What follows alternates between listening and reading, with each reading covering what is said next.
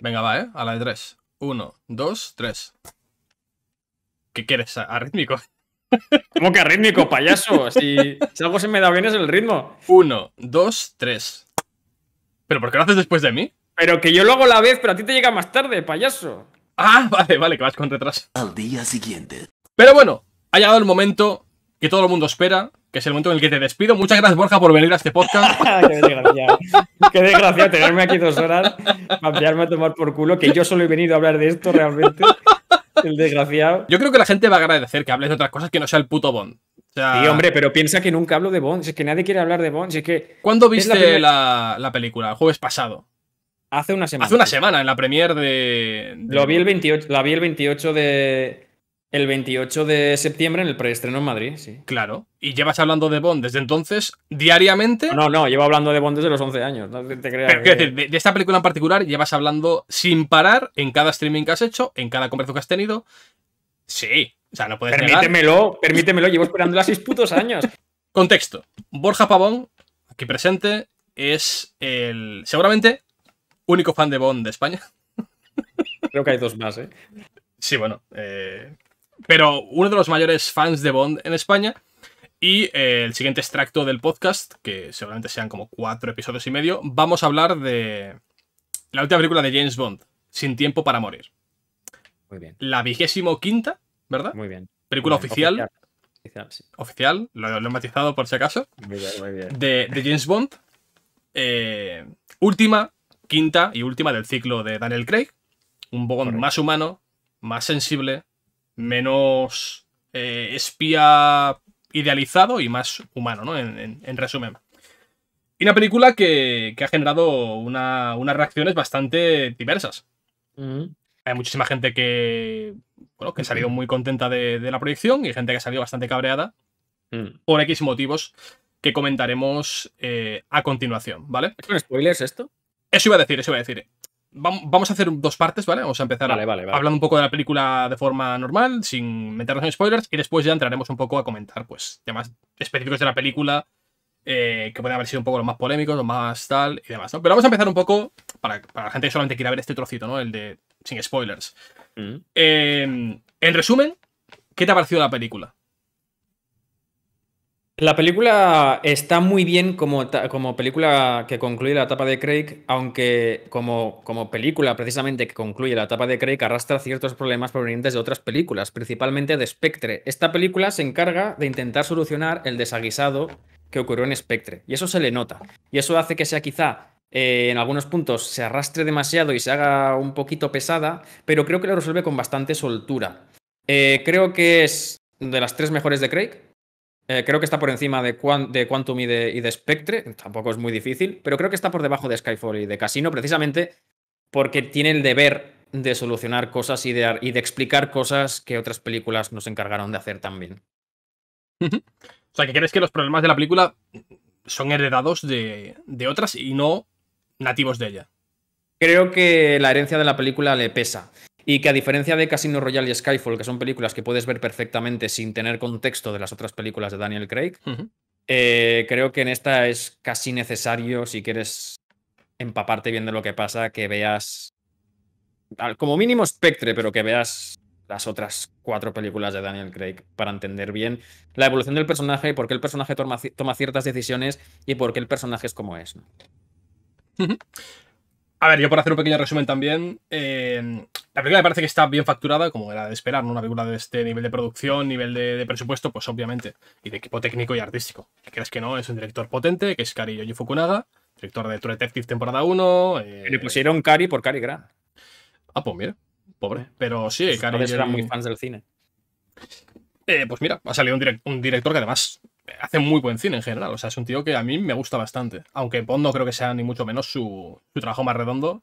Me iría obviamente a True Detective, quizá un poco por, por la sorpresa. O sea, hemos Y hablado varias veces en. Beasts El- of No Nation también está muy bien. Sí, pero es más una película más de mensaje que de. que Sí. de tal, que de entretenimiento como tal, obviamente. Tiene un mensaje muy potente, muy, muy, muy potente. Pero, pero bueno, como decía, hemos hablado varias veces aquí de, de impactos, ¿no? Mario 64 en videojuegos, el J-Horror cuando lo descubrimos de la nada, básicamente al crear una película en videoclub flipar y cagarnos vivos. Y True Detective, mm, la gente que la vimos cuando salió, sin saber qué pasaba en cada episodio y queremos semana a semana, flipamos. Yo creo que ha sido un Es hito increíble. de la televisión, básicamente. Junto con Perdidos y alguna más, un hito televisivo. E- Es increíble como un director que no era conocido para, para la gente Hmm. eh, te sale con algo tan redondo Hmm. eh, y es una declaración de intenciones bestial y, y entiendo. Kari Fukunaga hacía tiempo que quería dirigir una película de Bond, eh, algo que ya había trasladado a Bárbara Broccoli incluso antes de que ficharan a Danny Boyle. Eh, él ya se reunió alguna vez después de Spectre con Bárbara Broccoli y le, le- le comunicó su interés de, de dirigir una película de James Bond. Y, esa, y después de que fracasara eh, la aventura con Danny Boyle, eh, eh, fueron a contactar a, Fukunaga, sí. Eh, y efectivamente es una película, Sin tiempo para morir es una película en la que se nota mucho la mano del director. Es una película, la película más autoral, creo que de toda la franquicia. Es una película mucho más autoral que las de Sam Mendes. Eh, lo comentábamos, hay cierta escena de la película en la que casi parece que Fukunaga se quite esa espinita que no pudo lograr con It. Eh, parece casi una película independiente escandinava de terror. Es un poquito ciertos ese tramos, sí. rollo. En ciertos tramos, sí. Hay cierto tramo que sí. Y creo que lo dirige muy bien. Creo que tiene la responsabilidad. Porque, claro, no estamos. a- Es verdad que no es un director que encajarías con una película de Bond, pero creo que es una película particular en la que Fukunaga encaja especialmente bien y que la responsabilidad que tiene de cargar con toda la herencia de Craig es muy grande y creo que ha cumplido bastante bien. Al menos la dirección me parece. Me parece que está muy bien. Y hay ciertos planos secuencias en ciertas partes que me parecen. Que bueno, en True Detective ya hay un plano secuencia de 7 minutos que te Sí. vuela la cabeza. Me parece de locos. Y aquí en, en Sin hecho- Tiempo para Morir. ¿Cómo? No, que, que de hecho, en cierto modo, me decepciona un poco que no haya ninguno tan potente como el de True Detective en una película de James Bond, que es mucho más dado a- al espectáculo. Al... Intentan hacer uno similar. Intentan hacer uno, final. pero no, no les sale. No, no, ni de, ni de lejos. Sí que es verdad que en ese plano secuencia se ve cómo Daniel Craig se deja el lomo en cada puta película. Porque Sí. ese señor. Ese señor no es Tom Cruise, pero, pero se le acerca. ¿eh? Sí, hombre, a ver, hay que tener en cuenta también que Daniel Craig ya es un tío de 50 y pocos, pero. a los 53 años. a 50 ya llega. No tiene la fisicidad que tiene un Tom Cruise que lleva toda la vida haciendo de Stuntman indirectamente, porque el tío no, no usa doble espana. Eh, pero Daniel Craig, pues hombre, tampoco está tan. Está, está cicladísimo y tal, obviamente, porque es un tío que, que se cuida y demás, pero no es. Tom- no es elástico. No, no, no. no es, que no hay nadie como Tom Cruise para, para las Claro, a eso me refiero. Está loquísimo ese señor. Además que Daniel Craig ah, también adolece de haber pasado por ciertos, ciertos injuries, como ciertas, Sí. ciertas lesiones en los rodajes de Bond, precisamente. O sea que ya de por De sí es hecho- un tío que se rompe con nada.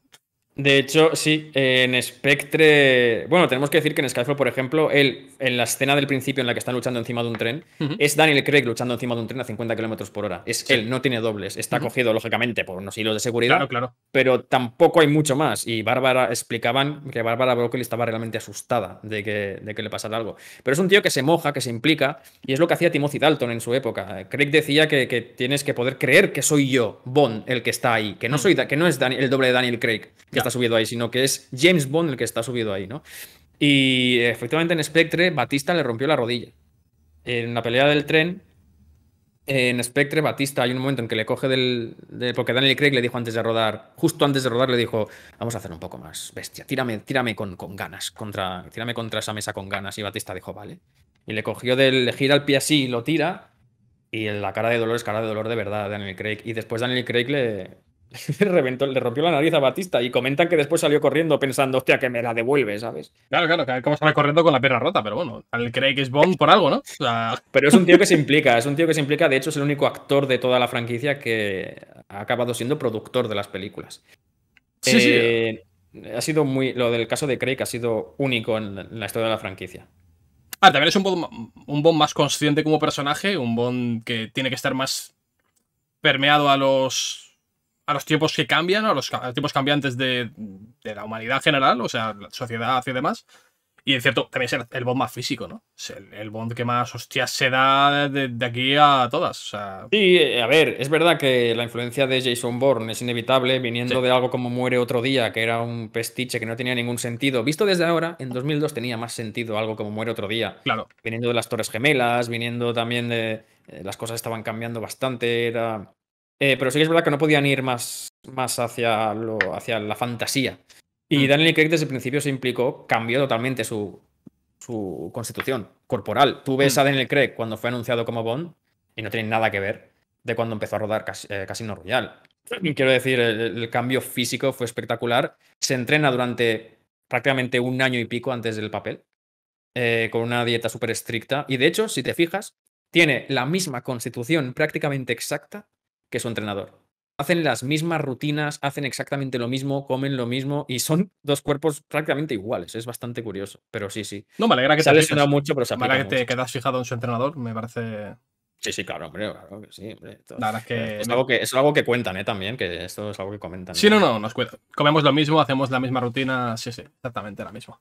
Pero claro, y son rodajes de nueve meses fuera de... Seis, seis, ocho meses fuera de casa, tío. Es que Ya. imagínate, es que tiene que ser tan agotador hacer Bueno, algo también te así. digo, son- es una vez cada seis años. Tampoco se, tampoco se ha matado el chaval. O sea, no... Bueno, ha sido ahora, ha Ya, sido ya, ahora por la pandemia y porque él iba a dejar Bond con Spectre. Ya, ya, ya. Eh, lo que pasa es que al final Bárbara le convenció y la idea que han tenido para Spectre, Daniel Craig le convenció porque es su Bond. Y es un Bond que Sí. no tiene nada que ver con, con lo que había antes. Que también digo, Bárbara puede haberse quedado calladita y no hacer Spectre, ¿no? Y quedarse en Skyfall y no hubiera pasado nada también. Pero ¿sabes qué pasó? ¿no? Es que claro, es que me sacas temas y yo te... No, no, no, eh, tranquilo, por- tranquilo, antes de, antes de tal. Entonces, por sintetizar, película especialmente pensada para los Para fans de, Bond, para cerrar un ciclo. Sí. Si no has visto ningún anterior, te vas a perder, ¿tú crees? Sí, a ver, son películas que no requieren mucho. Son muy no simples. requieren- o sea, A ver, son películas, James Bond son películas simples, no, no es rollo. Claro. no- no re- Pero sí que es verdad que te puede aparecer un personaje y digas, ¿y este quién es? ¿Este qué pinta aquí? ¿Que, ¿De qué se conocen? ¿Será alguien malo, no? ¿Será alguien bueno? No lo vale, sé. pero sí sí, que es sí- verdad. sí que crees que una persona que ve solamente las de Craig puede disfrutar igualmente de la última. O sea, no hace falta haber visto todo Bond para No, que no, no. Que va en absoluto. Daniel Craig no tiene. Es un Bond aparte. Eso ¿Podemos refiero. decir que, de, que de, de Connery a Brosnan son la misma persona? Hmm, sí, es el mismo tipo de Y persona. Craig es otro, es multiverso. Craig es, es otro rollo. Es otro Vale, rollo. vale, vale. Ok, ok. Pues ahora vamos a la parte de spoilers, obviamente. Claro. O sea. Esto es un poco en síntesis para que la gente que no quiera saber demasiado de la trama, de lo que pasa, tal y cual. Porque obviamente esta película está plagada de referencias a otras películas, eh, a nivel de guion, de, de música, de, de- de mil temas. Y eso habrá gente que no quiera ni, ni tal, obviamente, ¿no? Tengo que decir que son casi tres horas. Y es verdad que el tramo final se hace un poco pesado, pero no parece que sean tres horas, ¿eh? Casi. A mí se me hizo corta. O sea, corta. O sea, no, no, no miro el reloj ningún- nunca lo suelo mirar en general, pero es una, una expresión. No, no, no sentí el peso de, de, de la película en ningún momento. O sea, creo que está bien llevada, es entretenida. eh, se, se ve con, con, bueno, con ganas y la parte final, pues potente. O sea, tiene su, su recompensa, ¿no? La- las casi tres horas. Los Sí. 160 minutos, creo que son una burrada, pero bueno, se ve. Sí, a ver, las escenas de la primera hora para mí es espectacular. Sí que es verdad, Sí. ahora entramos a spoilers, ¿eh? pero sí que es verdad que quizá los créditos entran un poco tarde, son 20, 20 y pico minutos. A mí se me gustó mucho. los- Porque eso hay dos prólogos, eh, Sí. que no vamos a entrar en detalles, hay como dos prólogos. Eh, sí que es verdad que se hace un poco largo, pero no, no logro ver cómo podían haberlo hecho de otra forma, cómo podían haber puesto los créditos antes, ¿no? Creo que está, que está bien llevado y la primera hora es frenética, es de agarrarte al sillón y de no parar. Las, las escenas Sí. de acción de Italia son espectaculares, las escenas de acción de, de Cuba son espectaculares. Ana de Armas está genial, me parece que se nota un montón la química que tiene con Daniel Craig, Sí. se nota muchísimo. De hecho, fue Daniel Craig quien la recomendó para el papel. Y, y- y- y genial, y genial. Y, no sé qué más decir sin contar spoilers, pero es una película que no deja indiferente. Eh, Si eres fan de Bond, sin duda no te va a dejar indiferente. ¿La recomendarás a alguien que nunca ha visto nada de Bond? Como primera película. En plan, bueno, vete a ver, es entretenida, una. Uf, sí, eh, Sí, sí, ¿por qué no? Porque tiene set pieces muy bonitas, tiene acción muy chula, pero quizá le recomendaría que antes, antes viera una Misión Imposible. Pero para que vas a recomendar algo mejor primero. Feo, ¿no? Me has dicho una peli de acción así. Claro, pero quiero decir, sí. Bueno, Casino Royale le diría que se mirara. O Skyfall. Sí, al final sí. Sí, las son las mejores, ¿no? Casi no Royal Sí, sí. Skyfall, o sea, no. Y tengo que decir que no soy ultra fan de Skyfall, ¿eh? Yo. Pero sí, sí. Es un Bueno, no, película. no pasa nada, con tu sola siempre va a ser mejor en tu corazón, pero podemos. no. Podemos. Pesado con Ok, gente, se viene. Eh, tomad algo para no dormiros, eh, algo que os mantenga despiertos, porque se viene las seis horas de charla sobre No Time to Die. Mira, soy fan de Bond, pero no tanto. ¿eh? Empezamos con la lectura del guion, Borja saca las... ¿Te imaginas? Por poca broma, ¿tú sabes lo que es? Exterior noche. Eh... Sí. ¿Tú sabes lo que es ser tan fan de algo? Porque soy muy fan. Y estar esperándola seis años. O sea, esta película iba a salir en 2019. Sí. eh, con Danny Boyle. Sí. Después, Danny Boyle y los Broccoli partieron peras. Eh, con guion de John Hodge, que es el guionista de Danny Boyle. Que se ve que Danny Boyle tenía ciertas ideas, se comenta, son rumores, ¿eh? Tenía ciertas ideas sobre un enemigo ruso, sobre devolver un poco. Escucha una cosa, escucha una Eh, cosa. Eh, antes de irnos en, en tal. ¿Crees que Danny Boyle hubiera sido un director apropiado para Bond? A mí me llamaba mucho la atención. Me llamaba mucho la atención, tenía muchísima curiosidad. ¿Qué crees que hubiera Por aportado a- al universo Bond? No lo sé, no lo sé, no lo sé, eh, no lo sé. Es un director que me confunde un poco. Que hace cosas muy diferentes, muy distintas. Hmm. Eh, no lo sé. Tengo que decir que Yesterday no me, no me apasionó especialmente. A mí tampoco, me parecen eh, sin más. Me parece, sí, correcto. Típica good movie, pero sin más. Fue la película que dirigió al, al irse de, Hmm. de- de No Time to Die. No lo sé, es que por- precisamente porque no lo sé, me provocaba tanta curiosidad saber qué- por dónde iban a salir. Guión de John Hmm. Hodge. Bueno, no me, pare- eh, me, me producía curiosidad. Eh, se ¿Por qué abandonó? comenta- ¿Cómo? ¿Por qué abandonó el proyecto? No se sabe. Típicas dicen creativas. Lo de siempre. Diferencias creativas. Tengo. Bueno, es spoilers, ¿no? Sí, claro.